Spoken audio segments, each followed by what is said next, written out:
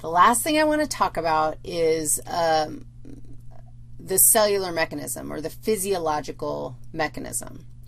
And a mechanism answers the question, how? How does that happen?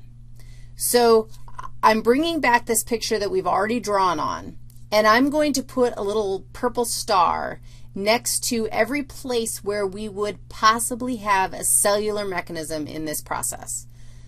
Cellular mechanisms, we're going to see them all over the place because the whole purpose of physio is to talk about how does that happen? How does your body maintain body temperature or blood pressure? How does your brain communicate messages to your biceps? How does your biceps contract in response? How does the thyroid gland affect metabolism? How is the thyroid gland, um, how is the thyroid hormone produced?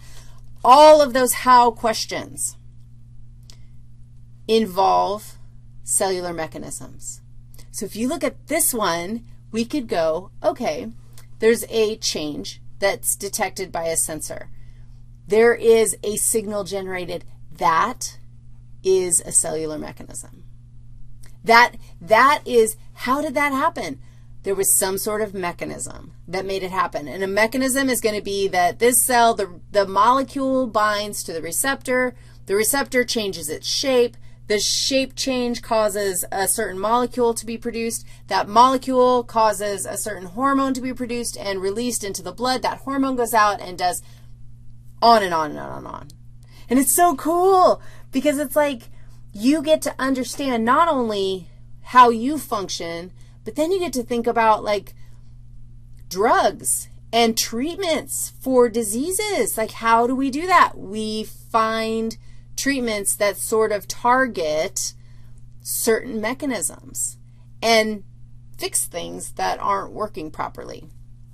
The message, the output message often is going to have a cellular mechanism. The process of comparing from a, a an input message to some set point, like that's a cellular mechanism.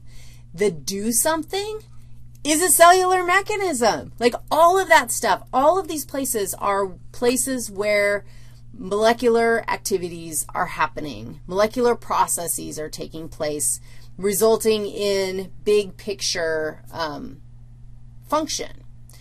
Okay, that was your very first lecture. And I'm even not even going to talk about where we're going next. But stay tuned because the next lecture is coming up soon.